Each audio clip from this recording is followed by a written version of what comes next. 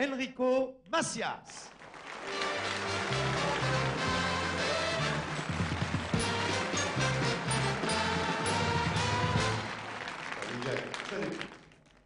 Je suis désolé, j'ai l'impression de te connaître tellement bien, mais tu sais, la mode est là, la mode est là qui pousse, qui pousse à la roue. Et vous avez certainement remarqué, amis téléspectateurs, que dans les magazines, on interroge les vedettes de plus en plus profondément, on pousse jusqu'à la limite de l'indiscrétion. Et je vais être obligé de te faire survivre l'interview à la mode, l'interview profond, ce qu'on n'a jamais dit.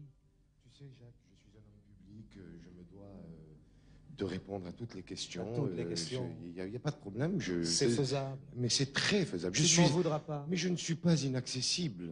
Je- je- non, mais franchement, ça te fait rire, mais c'est vrai. Tu es resté très simple. Ah, je suis resté absolument très, très, très, très simple. Alors écoute, Enrico, je voudrais tout simplement te demander où as-tu commencé à chanter? La première fois, avant d'être chanteur, avant d'avoir l'idée de ce métier, quand tu as commencé à chanter, tu chantais où? Euh, pardon. Euh, justement, quand on se réveille le matin, on a la voix un petit peu fatiguée et automatiquement, euh, c'est dans la salle de bain que l'inspiration m'est venue. Tu as chanté pour la première fois Ah, dans la- une salle de bain. Mais c'est normal, quand on prend sa douche, on chante, euh, tout ça. Est-ce voilà, que je pourrais te demander pour les téléspectateurs de Music and Music de recréer cet instant merveilleux où pour la première fois tu as chanté, c'est-à-dire dans ta salle de bain Mais comment on va faire? C'est très simple, je vais demander à Stéphane Collaro de venir et Angelo Bardi. Et prépare, voici une minute de vérité, un document criant. Je voudrais simplement que tu nous montres comment tu chantes le matin dans ta salle de bain. Tiens, Suzy, attrape-moi le micro. Oui, tu le veux Euh, comment ton couscous avec des croissants café le micro dans le tube. Pardon? Allons-y. Ouais, euh, Ah. Donnez-nous la note, s'il vous plaît. blanche les dents de mon frère.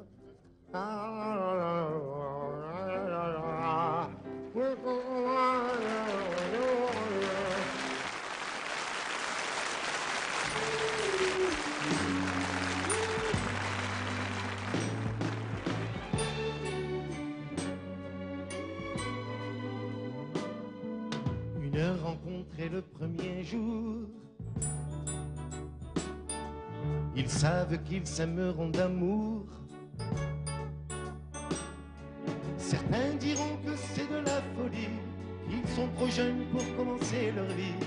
C'est difficile à dire ces choses-là. Pour l'instant, ils s'en donnent à cœur joie. Ils sont heureux, ils n'ont plus peur de rien. Qui peut leur dire si c'est le bon chemin?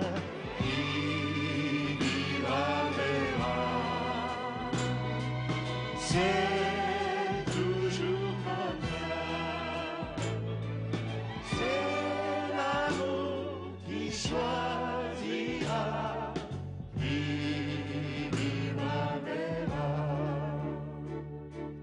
Dans les familles, ça fait des histoires.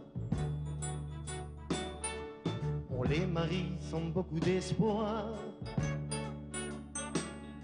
Ce couple-là ne tiendra pas longtemps. Quand on les voit, ils sont si différents.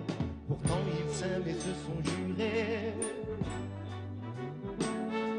Quoi qu'il arrive de se protéger. Qui peut prévoir le bonheur ou l'enfer? Quand deux bateaux se perdent sur la mer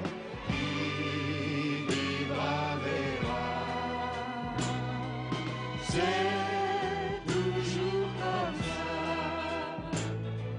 C'est l'amour qui choisira. Qui vivra verra. Ça fait deux ans qu'ils font de leur mieux. On n'a toujours pas confiance en eux.